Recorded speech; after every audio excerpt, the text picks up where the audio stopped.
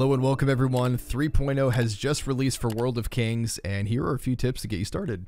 The first thing that needs to be on your mind is to reach level 73 as soon as possible, because once you reach level 73, that's going to be kind of the threshold that you need to meet to be able to complete your first Overlord for the first day, which of course is the fastest way to increase your character's gear score. So the way that you get your level to 73 is uh, first go into the upper left hand corner and you'll see the main quest tab. You want to just do all of the main quests that you can. Uh, I think it took me about 20 minutes to get through the entirety of the new main quest line up until now, and that should get you to around level 72. After that, what you can do is go to your daily tab in the upper middle there, and you want to complete first your Run Toto run, which gives you experience. Then, if you need more than that, you want to go down to your Path of Erudition. You want to complete that as well.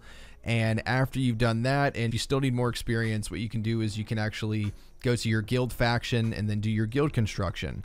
So each time you claim and complete one of these, it gives you 21.1 thousand experience. You can either take them, wait 30 minutes and auto complete them, or take them and actually complete them. And that's going to help you know push you a little bit further but if all else fails and you're still not level 73 what you can do and you can actually do this first if you like is go and with the stamina that you have go to your old world dungeons and scroll all the way to the bottom, complete the Rebirth Monastery, Arnos Ruins, and Void Abyss, which will give you experience each time you defeat one of those bosses. Then once you reach level 72 and you're still not level 73, you can complete Soul Temple because the level requirement for this is level 72. And after you complete this, it'll give you experience as well. After you do all of those things, you should be level 73, which will enable you to complete the first Overlord dungeon, which have now been rebranded to Aries, Taurus, and Gemini, respectively. Um, I actually was able to complete Overlord 1 and 2. 2 is actually very difficult for today. It's going to be kind of hard, but Anyways, you can at least do number one. It's not very difficult at all, and it is Redstone Castle, so at least get to level 73 and do your first Overlord. The next thing I'd like to explain are just kind of some of the, the mechanic changes within the game itself that I think will be helpful to orient you. Uh, so first, let's take a look at the Divine Wings. Those are probably the first thing that you guys noticed. There's a quest in the upper left-hand corner that says something about wings or, or wing quest, just complete that. It takes about five minutes to complete, and once you complete it, you're rewarded with your first set of Divine Wings. Now, in order to access the Divine Wings, you want to click the four squares on the right-hand side of your screen, click on Divine Wings, and these are, this is basically the interface that, that you can see where your Divine Wings are accessible. So, the way that it works is you're given the Divine Wings, you're given these item, uh, this item called Magic Dust, which you can get from doing adventure modes or from consignment, and then you can use those to level up your wings. As you level them up, they of course increase in stats, and once they get to a certain level, you'll need other items to continue increasing the stats and I believe the appearance of what they look like. And that's just kind of how, how the wings work. But uh, additionally, with those wings, you can use these divine feathers that you'll get from different random dungeons and uh, just completing certain daily quests to give you these wings and you can input them. So if you go here for the C plug I'll go ahead and let's say input the vitality plus 27 and you click socket. It goes in and gives you stats. And uh, same thing with the flame plug. Just go ahead and put in uh, wild mitigation and I'll explain what that means in a moment in there.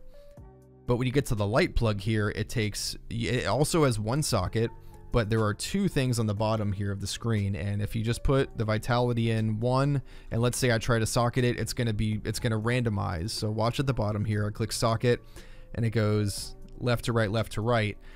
It failed because I only put one in and it didn't select the one. So when you get to the light plug and I'm assuming once you get to the earth plug uh, when that unlocks later on down the road you're going to have to, let's say if you want one specific feather to go in, you have to put two of the same one in to guarantee it. And that's just kind of a, that's just kind of their way of, of kind of halting your progression to make it more and more difficult to level up your wings. But the wings are pretty awesome. I mean, if you go to appearance, you can uh, select your divine wings now and look at these. They have like these awesome mech wings. it just looks incredible. I have no idea how to get those at this current point, but this is something that you can look forward to. And if you know you're kind of not really into the whole divine wings thing, you can uh, you can either hide select to hide the wings here, and if you you know want these other wings, you can get little fairy wings later on as well. But this is just kind of an additional cosmetic uh, with an additional stat. The next thing I want to explain are the changes to the mercenary system. So if you click on mercenary here, now you have a new tab called expedition throughout the day at different times. It says event time from 12 to 2300 daily. different bosses will become available. And this is basically how it works. You can click the boss, click go to challenge or go challenge, and you can, in the same way that you can uh, dispatch your pets, do certain pet activities, you can dispatch your mercenaries. So you have one team uh, that you can dispatch. So let's say I hit the plus button, and these are the remaining mercenaries that I have. It's not going to be the most successful thing ever, but I'll click one and just, let's say, one healer and then just a few DPS. You can do up to 10 per, and then you hit confirm and deploy, and it brings you to a little cutscene and just shows you the fight. So this one in specific is going to be for Laterras, and uh, if you look in the bottom left-hand corner, you see damage. So the goal of this is not to defeat the boss, because when you first do your first uh, kind of deployment for the tutorial, it shows you that you can do one character and you send in one character and it does no damage, and I kind of felt like I was wasting my time, so I backed out. But the goal is not to defeat the boss. The, the goal is to basically stay in here and do as much damage as possible. And then when the time runs out, I think it's after one minute, it'll give you a certain score and then give you certain rewards for certain items. So I'll go ahead and wait until that skips ahead.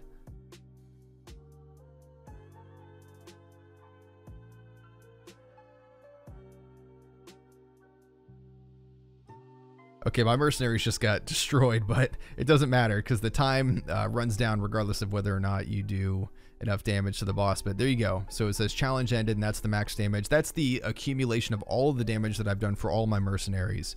So once that ends here, you're given a prize, and that's just, again, another thing that you can do uh, for your mercenaries. Now, the next thing I want to explain are going to be the changes to your sigils.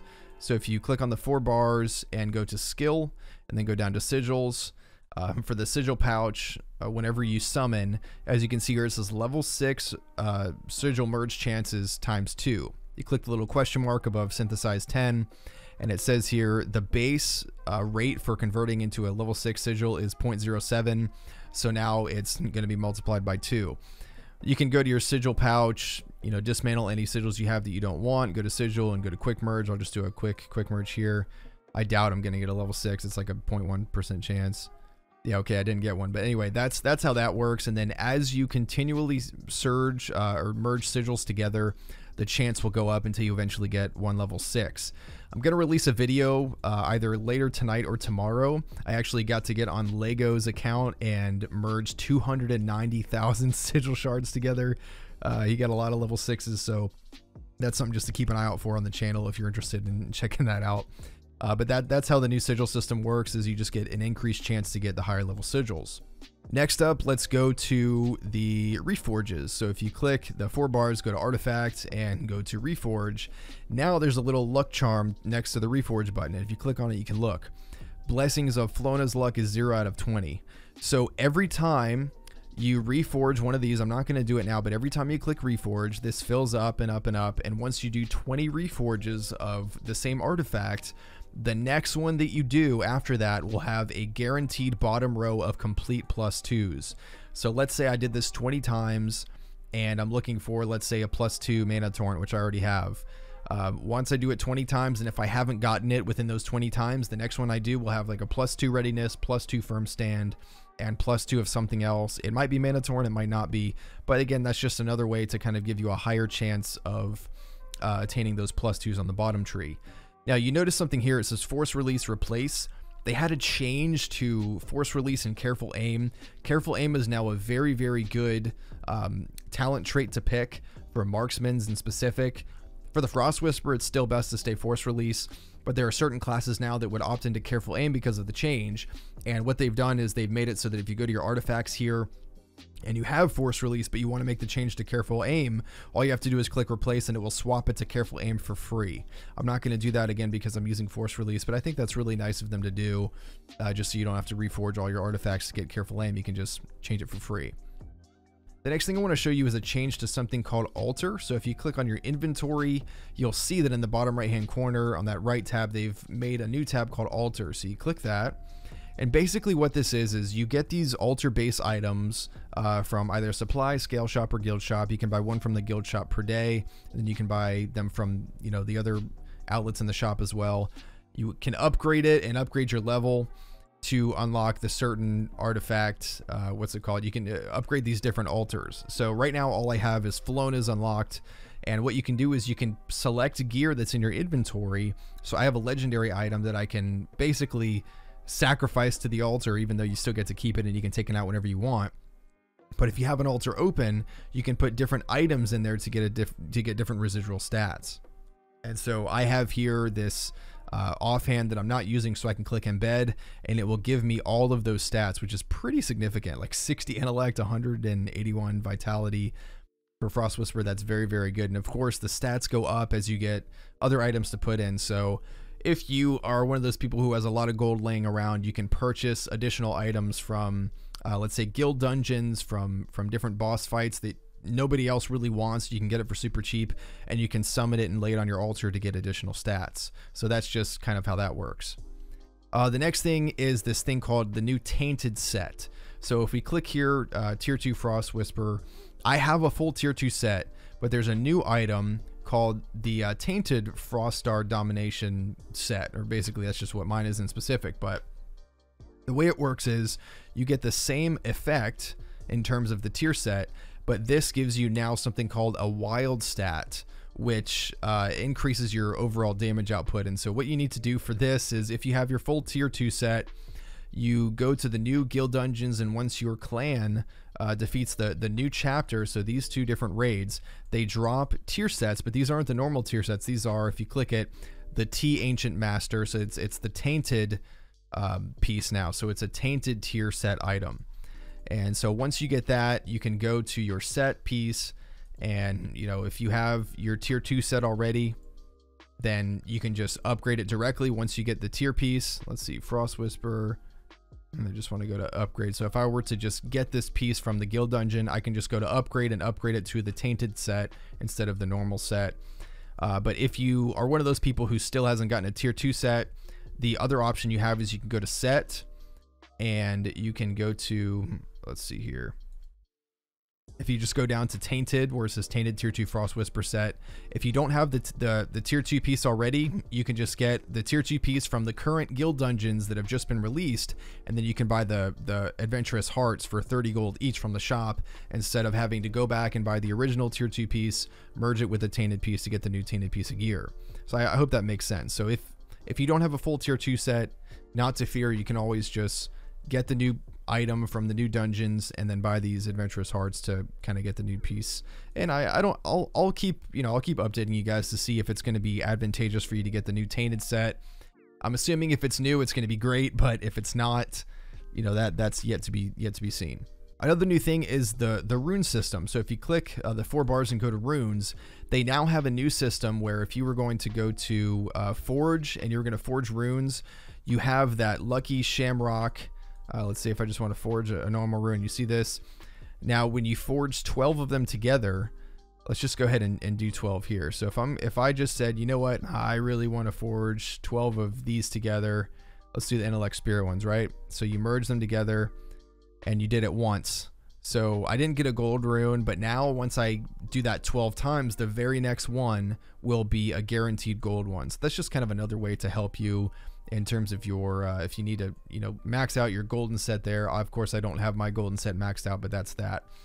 And uh, additionally there was a new tab opened up called medal of glory which gives you a whole nother set.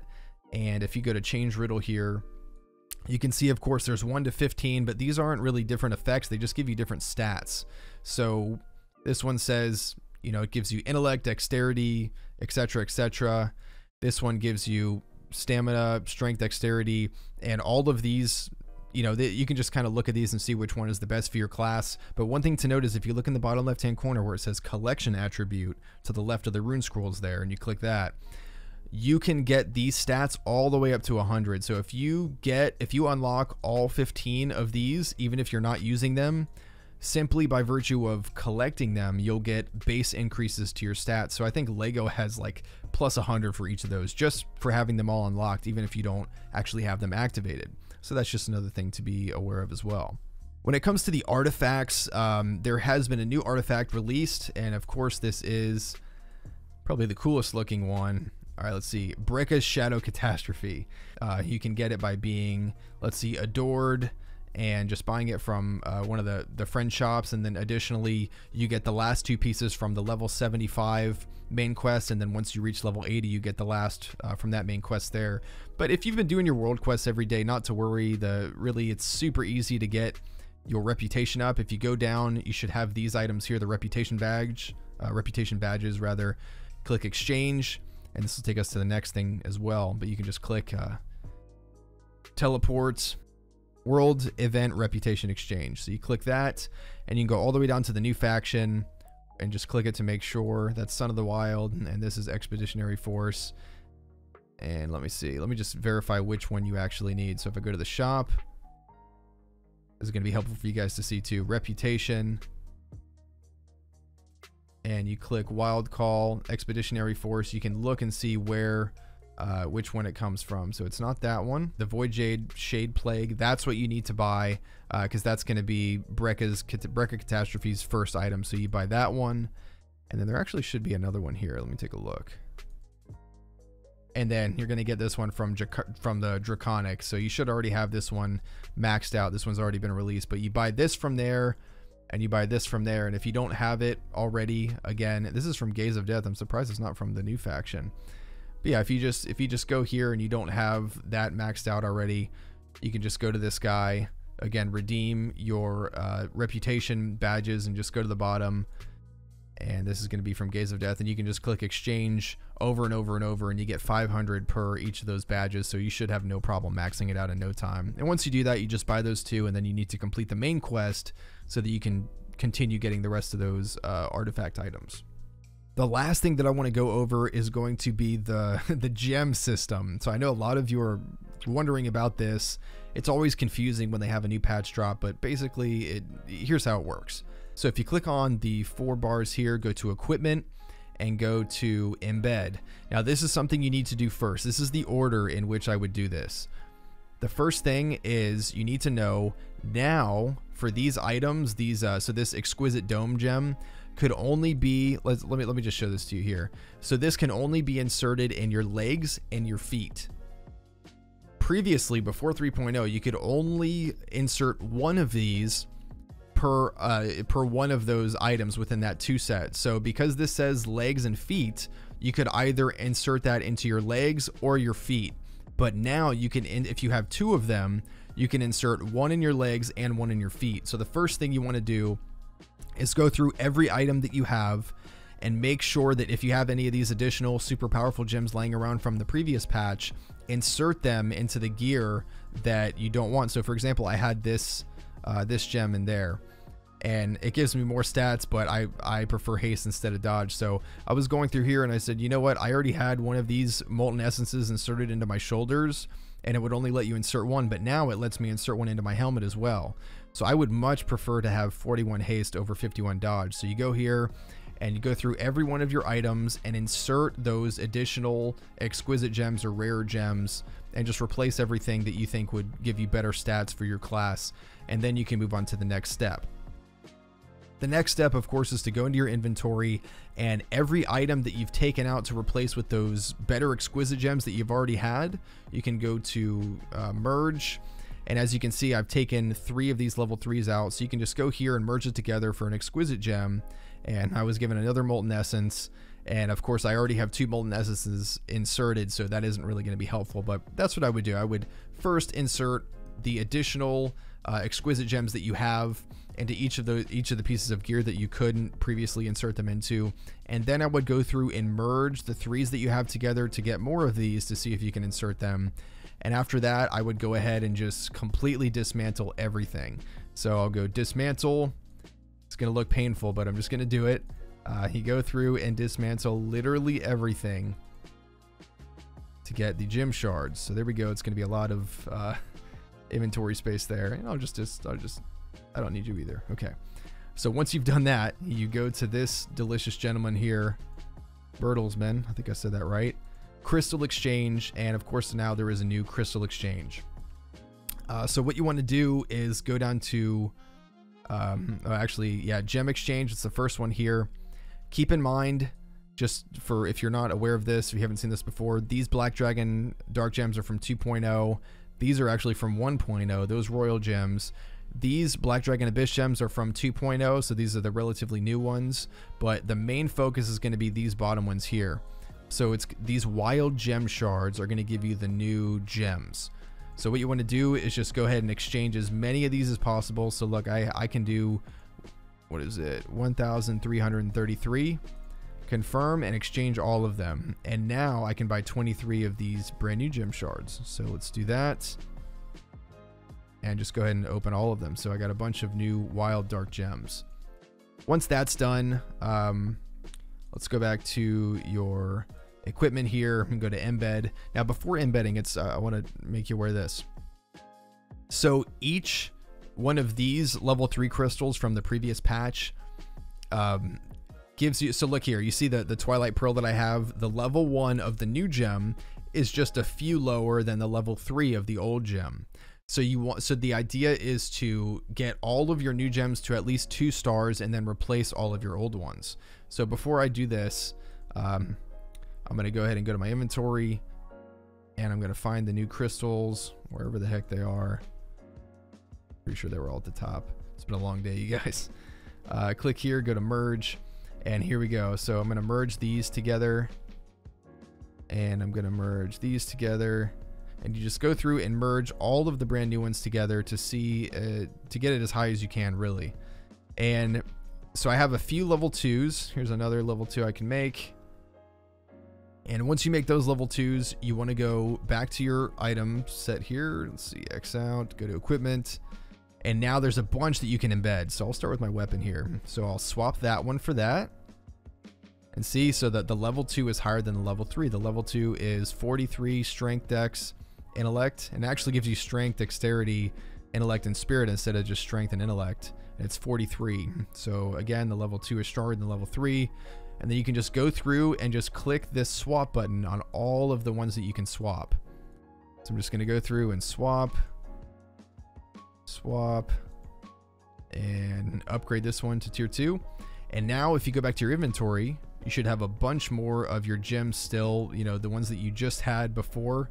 These are the old ones that were previously inserted into your gear. You can dismantle those and it's going to give you more items to give back to, to Bertelsmann. So Crystal Exchange, and you get it, etc., etc.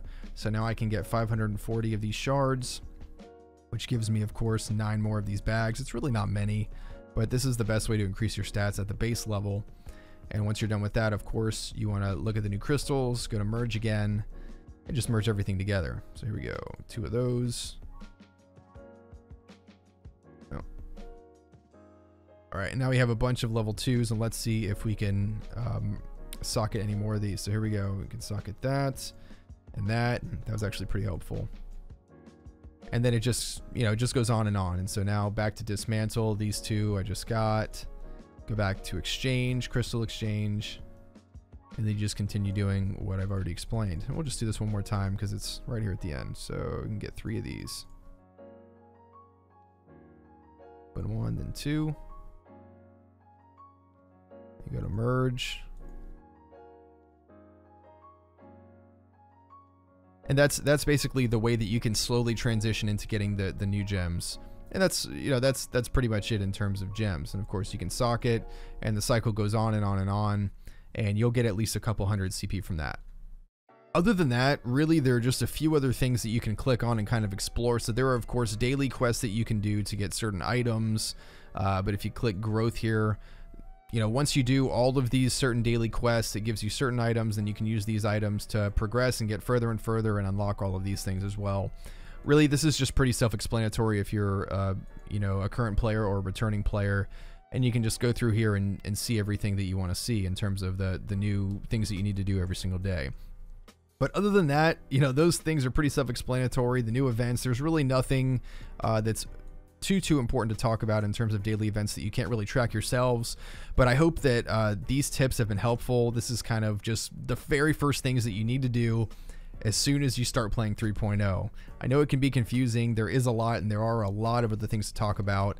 But just in terms of the first day and getting started that is everything that you need to do. Just focus on getting to level 73, do your first overlord for the day, and then go ahead and start swap, get your divine wings, start swapping out all your gear, do some reforges if you need to, do some uh, rune exchanges if you need to, and that'll get you well on your way and prepared to begin this new journey into 3.0. Uh, thank you very much for tuning in, and until next time, enjoy your day.